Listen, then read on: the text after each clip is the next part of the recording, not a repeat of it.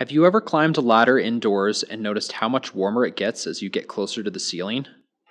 Temperature stratification occurs when cooler, denser air sinks to the floor and warmer, lighter air rises to the deck. This results in a temperature gradient between the floor and the ceiling, which we call delta T. The nonprofit Carbon Trust has called stratification the single biggest waste of energy in buildings today. That's because a stratified space has a lot of drawbacks in terms of energy savings and comfort at the floor. In addition to the energy savings, destratification can improve thermal comfort at the floor by equalizing temperature and reducing hot and cold spots.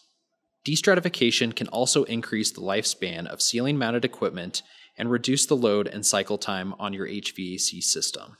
Airius fans reduce stratification with an array of fans mounted at the deck the fans vertically mix the interior volume of the space to reduce stratification by moving warm air from the deck to the floor below.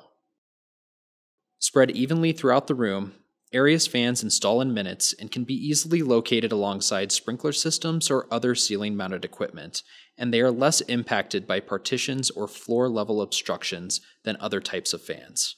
Sizing Airius fans to accommodate pitch ceilings or mezzanines is simple with our velocity profiles.